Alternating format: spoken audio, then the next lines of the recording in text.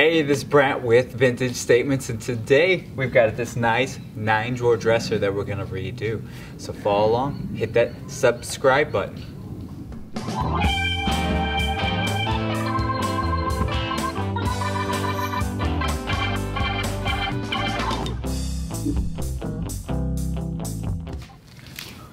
All right, overall what the plan or the game plan is today is we're gonna sand this entire piece down. We're gonna try to stain the top and then we're gonna paint this uh, blackout black. So what that means is we gotta pull the drawers out. We've gotta pull the hardware off, pull the door, get that all taken care of. Uh, we can sand, clean it up. We're gonna paint it, scuff it up, and finalize this piece. So we're looking at about four, four and a half hours of work here. So let's get started by removing all the hardware, checking the subframe.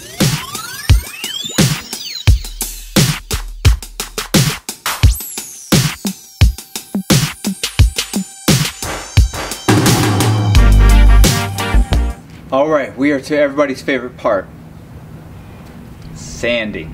Got my DeWalt sander, 80 grit sandpaper. For this specific project, what we're gonna do is we're gonna try to sand this top down, restain it, and then we're just gonna scuff sand everything else so the paint sticks nice to it. We don't really want a slick surface to, to try to adhere to paint. So everything that we can do that's straight edge, we'll do, then we'll come back and hand sand everything, which means a lot of those doors and drawers are gonna have to be hand sanded. So let's get started.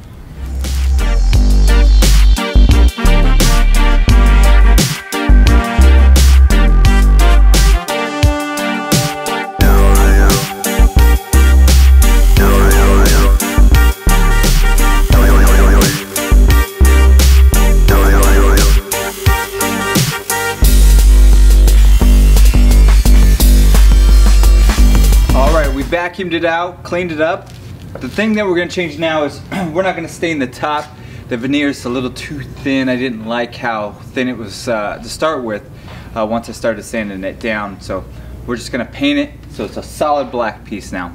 So everything's gonna get two coats. We're gonna start with the back side of the door, get two coats in that, do all the drawers, two coats, and then we'll start working on this frame for two coats. After that, we'll scuff it up. Today we're gonna use Behr Ultra Scuff Defense. I guess it's their new, uh, for good for flat colors or flat paints. Uh, it's supposed to not scuff up as much. Eh, probably could have read that with the uh, label here. Scuff Defense, blackout, two inch Wooster brush, and we'll go from there. So let's get started.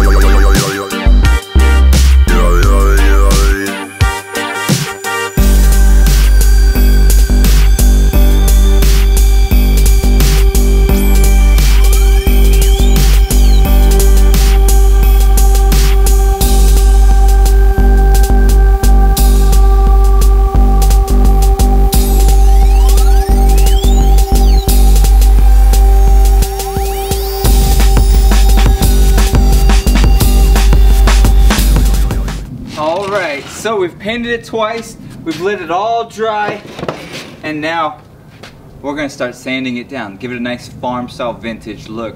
This is a step that you could skip if you wanted, but here at Vintage Statements, we love doing it. We love that look, that vintage feel. So I'm gonna use the 80 grit sandpaper that I used to sand down the piece, so it's it's not as rough as an 80 grit that started. It's a little bit nicer. And we're just gonna scuff up this whole piece just a little bit. We're gonna wax it. I'm gonna put the hardware back on it. So let's get started.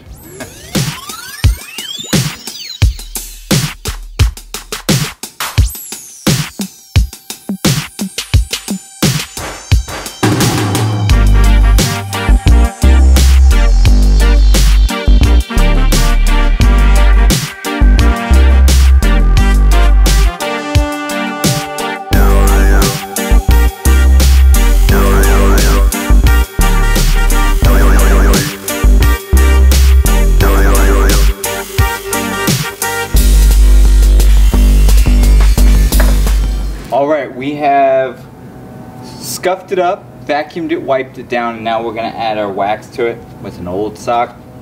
So very thin natural, goes on nice.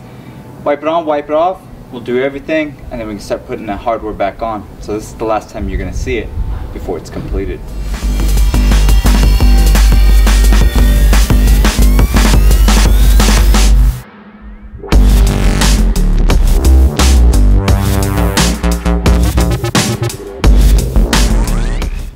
Here it is completed nine drawer dresser uh, in blackout black flat paint. We scuffed it up, gave it this vintage look, and well, the end result, pretty amazing. I love the transformation.